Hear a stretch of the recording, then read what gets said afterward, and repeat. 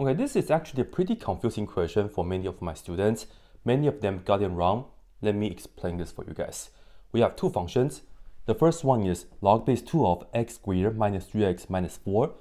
And the other one is log base 2 of x plus 1 plus log base 2 of x minus 4.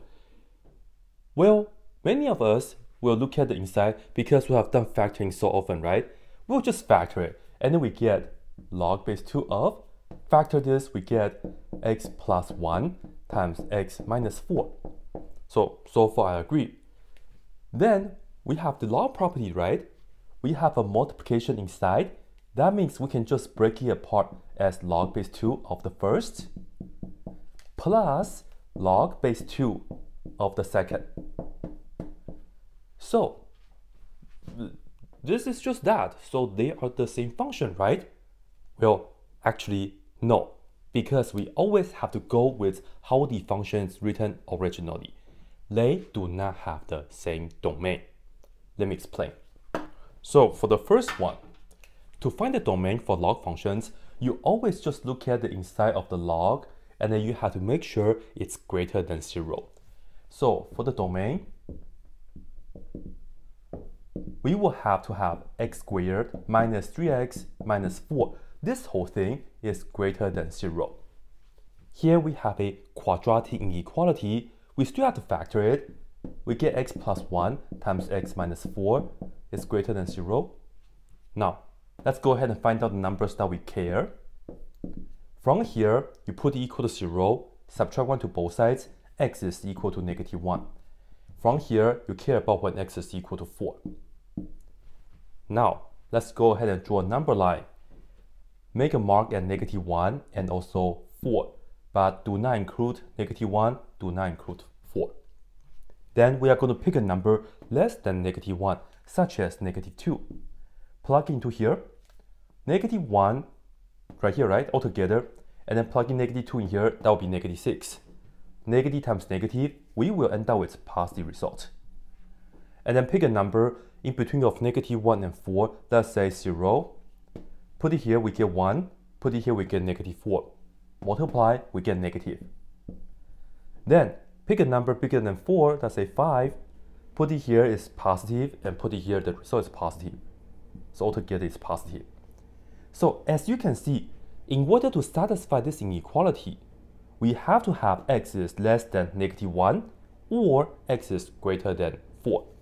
So the domain, I'll just write down D for the domain, is I will go from negative infinity to negative 1. Do not include the negative 1 though. And then union 4 to infinity. That's the domain. Now, let's take a look right here. For its domain, because g of x is written two separate log functions like this. So I will have to look at this first one and set up x plus 1 is greater than 0. And we have another inside here, right? So we have to write x minus 4 is greater than 0. We must satisfy these two inequalities at the same time. Now, for the first one, we can just subtract 1 to both sides so we get x has to be greater than negative 1. For the other one, add 4 to both sides, x has to be greater than 4. We have to satisfy these two inequalities at the same time. To do so, here's how we can do it. x is greater than negative 1, you can look at the number line. Let's say here is negative 1 with an open circle. x is greater than, that means we go all the way to the right. For this, is x is greater than positive 4. Draw the same number line. Here's negative 1 already, so 4 is somewhere right here. Open circle, and again, we have to go to the right because it's the greater than. Now, in order to satisfy these two inequalities at the same time, we will have to look for the that's overlap, which is anything bigger than 4, right? And that will be the domain for this function. 4 to infinity do not include the 4 though, because there's an open circle. So you cannot have 4. As you can see, these two functions, they do not have the same domain.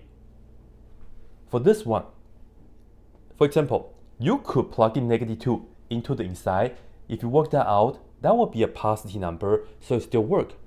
But if you plug in negative 2 into here, negative 2 plus 1 is negative 1. That will ruin this part, so that's no good.